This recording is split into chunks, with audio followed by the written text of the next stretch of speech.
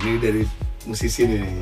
Terus terus terus terus. jadi jadi eh, jadi menurut gue ya Indonesia ini ya kayak contoh yang lagi belakangan lagi viral tuh si siapa Atta Halilintar sekeluarga Oh, siapa itulah yang diklaim sama Nah, akhirnya- Naga Suara. nah, diklaim naga suara Mm. ya lu mau klaim-klaiman gak masalah Hmm, karena hmm, hmm. copyrightnya belum kuat gitu Nggak jelas juga. jelas juga gitu jadi ya sah-sah aja menurut gue nah makanya tapi gue eh, pada saat itu mengambil yang udah kelas internasional karena apa Hmm. nggak mungkin kan orang yang di US sono dengerin lagu Iya. kita kan gak, mungkin Karena saat itu berpikir seperti itu ya. iya jadi Ah, ya nggak mungkin tahu. aja, Eh. gitu. kan yang tahu kan sama-sama pendengar doang Iya, iya, bukan iya, band iya. aslinya gitu jadi ya Tapi nggak pernah nyampe ke sana kan? apa nih Si maksudnya kayak band aslinya kayak wah ini terus sama kayak gua gitu. kayaknya sih mereka gak dengerin kita ya. Jadi bodo amat juga ya. aman. Aman. Jadi Girat Girat Wali tidak mendengarkan cinta ini membunuhku. wow, itu dia Ricky eh, tapi kita gue belum nanya belum belum belum belum. Sampai album berapa lu ini masif? Gua cuman sampai album pertama doang. Album pertama doang.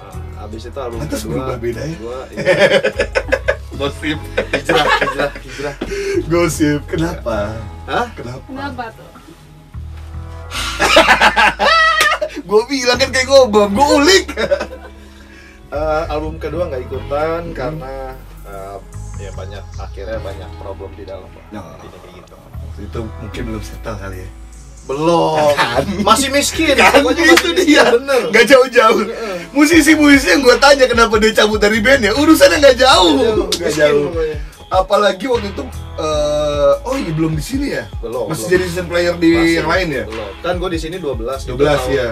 Masih 2007 2008 mah. 2728, album kedua aja 2010-an ya kali ya? Iya, betul. Oh iya, masih jauh juga Masih ya. miskin lah pokoknya. Sekarang udah enggak dong? Sekarang enggak sih, kayaknya gue udah enggak miskin. Tapi kan, akhirnya band lu dulu sebesar itu sekarang. Menyesal tidak? Oh enggak, enggak menyesal gua. Sama sekali enggak. Karena masih sering ketemu. Oh, ma- main mah Kalau- friend mah Masih, masih. ya, nggak Dan- masalah ya. Dan beberapa tahun kapan ya? Tahun kemarin.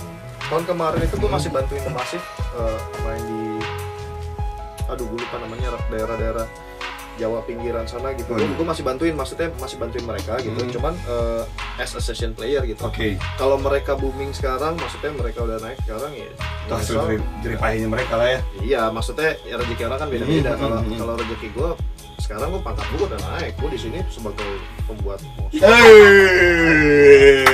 Gak nyesal. Ya tidak, tidak ada penyesalan ya. Ada. Karena pasti ada hikmahnya dari semua yang udah lewatin ya. Iya. Ah, itu luar biasa. Kita ganti sekarang Ricky Trans TV.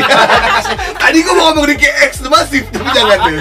Ricky Trans TV aja lebih enak karena ada X ya kan. Kalau X kan udah mantan kayaknya nggak enak. Kalau Iya, mantan iya. tuh berusaha sama mantan nggak enak. Iya. Ya, ntar ada cinta ini bunuhku part 2 lagi. Kayaknya nggak bakal nulis lagu itu lagi. Nggak akan, nggak akan. Ah, oke kalau gitu terima kasih Ricky, Mas Ricky Trans TV yang dulu membuat Cinta Ini Cinta Ini Bunuhku terngiang-ngiang di semua kepala orang Indonesia. Itu play di semua radio. itu itu amal jariah loh. Apa Iya, iya. Amal jariah cuy. Empel terus. Karena kalau lu galau dengerin deh. Iya. Aduh kenapa cinta ini bunuhku sih? Mantap tapi gak apa-apa. Terima kasih Mas you. Sukses terus. Sama-sama. Ditunggu selalu karya-karyanya, musik-musiknya dan juga eh, sukses buat bandnya ya.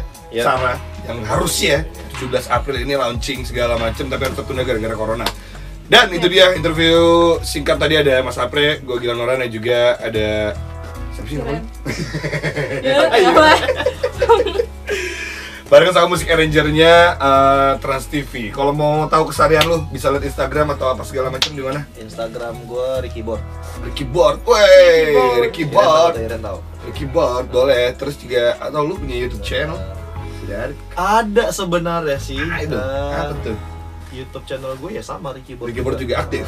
Aktif sampai Aktif. sekarang. Apa tuh isinya ada apa itu kalau boleh tahu tuh? ada ya biasanya gua, Cover-coveran. gua cover cover gua gua kalau mau denger gua nyanyi ya buka YouTube gua Eh, Ricky Ball alias Ricky Trans TV.